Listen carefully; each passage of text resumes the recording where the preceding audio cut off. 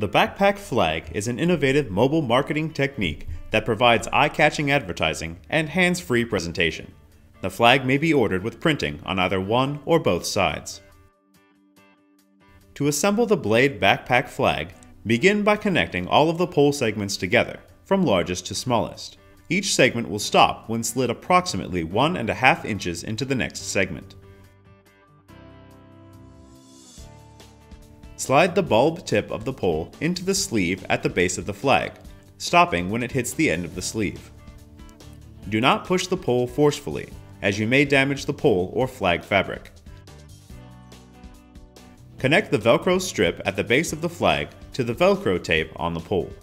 Insert the base of the pole into the mount on the front side of the backpack. Put on the backpack and close the waist belt. To take apart the backpack flag, Simply remove the flag from the backpack and unhook the velcro at the base of the pole. Slide the pole out of the sleeve in the flag and disassemble the pole.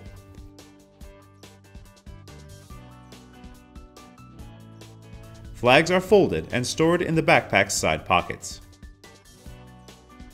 All poles are stored in the narrow pouch on the inside of the backpack.